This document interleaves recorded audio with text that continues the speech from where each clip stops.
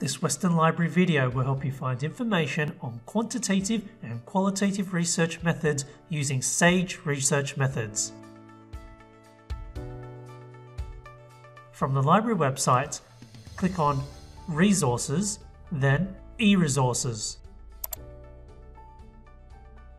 Then under Databases by Title, click on S. Scroll down to Sage Research Methods. If you're off campus, you may need to log in with your Western account details. Sage Research Methods contains more than a thousand books, reference works, journal articles, and instructional videos by world-leading academics from across the sciences.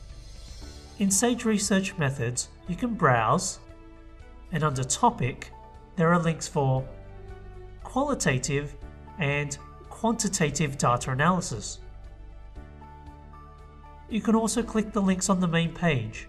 Here is quantitative and here is qualitative. Another way to find information is going through the research tools and using the methods map. Let's have a look. The Methods Map is a visual search tool supported by a unique complex taxonomy of research methods, terms, methodologies, and people in the field.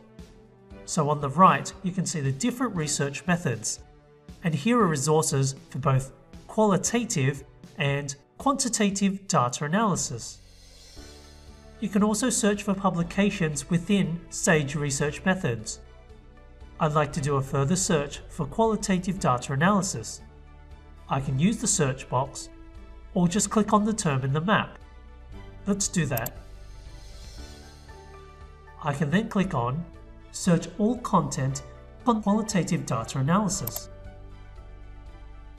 And here are some more publications that you may find useful.